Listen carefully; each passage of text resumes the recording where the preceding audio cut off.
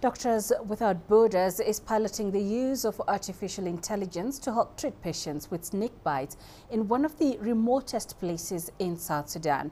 It says that even in its infancy, AI is already helping save lives. CGTN's Patrick Oyet reports from the country's Warrap state. This is Mayen Abun village, 595 kilometers north of South Sudan's capital, Juba. Medical personnel say the area hospital receives people bitten by snakes almost on a daily basis. Just near the hospital, we meet Apuk Back. She has a leg impairment because years ago she was bitten by a snake and didn't receive proper treatment. I was crossing a small waterlogged area. I felt something entangling around my leg. I ran out of the water and there was a snake on my leg. It bit me as I shouted for help. It was next to the house. My family rushed and killed the snake, but I was just given some traditional medicine and my leg remained with impairment. Her case and many other conditions resulting from snake bites in this area led MSF to pilot its program.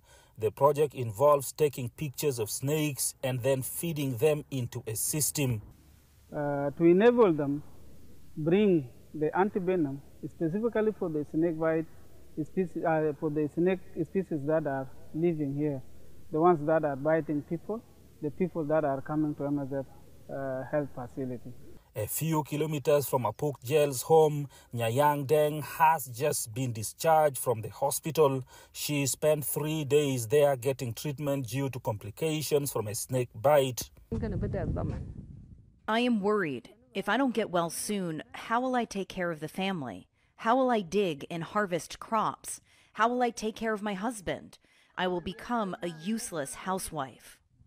Medical personnel here say she will make a full recovery. Health workers say it was easy to give her treatment because a lot of snake species from this area are already in their system, as are their antivenom artificial intelligence is no longer a far-fetched concept in this village. It is already being used to treat patients getting snake bites here.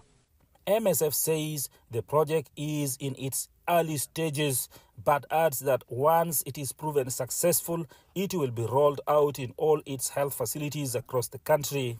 This initiative, doing the awareness, trying to find the antivenom would improve a lot in terms of uh, snakebite cases management in the hospital.